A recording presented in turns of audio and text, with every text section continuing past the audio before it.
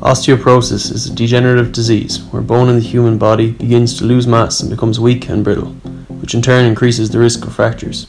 Approximately 10 million men and women in the United States suffer from osteoporosis. Osteoporosis was once believed to be a wear and tear disease, but research over the past decade has shown that there is a significant immunological aspect to osteoporosis. Osteoporosis occurs when there is an imbalance of bone turnover, where osteoclast activity is greater than osteoblast activity, which in turn leads to bone loss. Many studies have shown that the activity of osteoblast and osteoclast formation are controlled by the regulation of cytokines. Cytokines such as TNF alpha, rank ligand, and interleukins promote bone resorption. In osteoporosis, these cytokines are produced too much and begin to degrade bone and make it weak and brittle.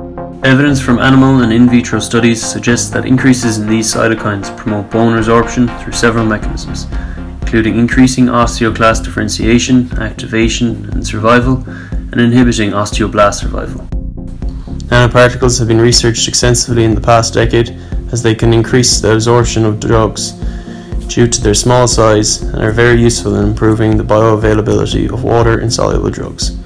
Curcumin has shown promise to be the future in preventing osteoporosis. Curcumin is a yellow pigment compound extracted from the roots of turmeric plant, which is often used in Asian cuisine. The incidence of osteoporosis related hip fractures has been found to be significantly lower in southern and eastern Asian women than in western women.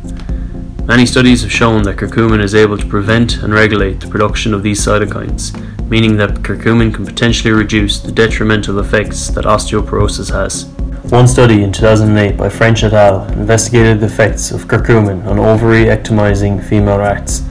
They quantified the initial bone mineral density at the spine and the femur and at 2, 4 and 6 months after ovariectomy in a sample size of 40 rats. Results showed that at the highest dose of curcumin, which was 15 mg a day, significant improvement in the size of the femur was observed after 6 months of administration. In 2019, Yang and Zheng carried out a study on rats. Curcumin showed inhibition of TNF alpha, interleukin 1 beta, and interleukin 6. expression of synovial fluid inflammatory biomarkers, interleukin 6, interleukin 1 beta, and TNF alpha, in the osteoarthritis and curcumin group were lower than that in the osteoarthritis and osteoarthritis and PBS group. In 2004, another study by Bharti, Takada, and Aggarwal showed that the treatment of these cells with rank ligand activated NF beta and pre exposure of the cells to curcumin completely suppressed rank ligand induced NF beta activation.